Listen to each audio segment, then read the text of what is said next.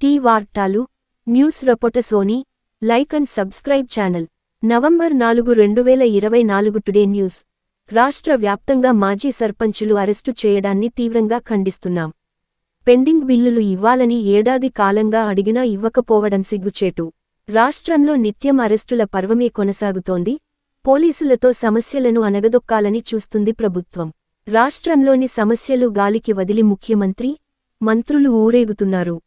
సర్పంచుల కుటుంబాలు రోడ్డున పడేదాకా ప్రభుత్వం స్పందించదా?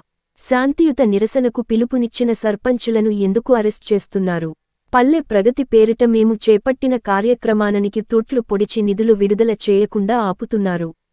అరెస్ట్ చేసిన సర్పంచ్లను వెంటనే విడుదల చేయాలని డిమాండ్ చేస్తున్నాం. Please subscribe my channel news రపోట Sony.